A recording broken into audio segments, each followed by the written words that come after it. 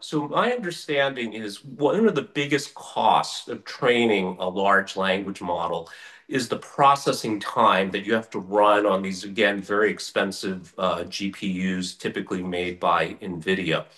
So what DeepSeek has done is uh, very clever engineering is probably the best way to describe it. So I'll use just a very quick example. So the standard uh, for training a large language model is to use 32 bits, or you can think of it as 32 numbers, which takes up a, a reasonable amount of space. And when you multiply this by millions, billions, maybe trillions of calculations, this takes quite a lot of computing power and computing time. So one of the things DeepSeek did was they said, look, what if we could achieve roughly the same results only using eight bits?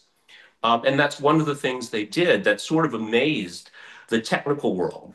The other point I think it's important to mention too is the team that built DeepSeek is entirely uh, educated in China. So again, this challenges, I think, another uh, article of faith, right? That you need to have uh, Western educated technical people to make big breakthroughs. And this shows that uh, this is not the case.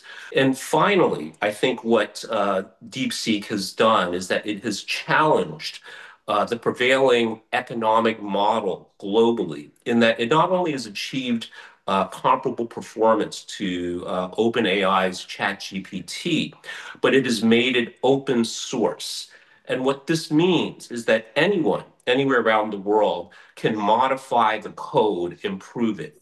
So this has uh, profound ramifications for the future speed of development.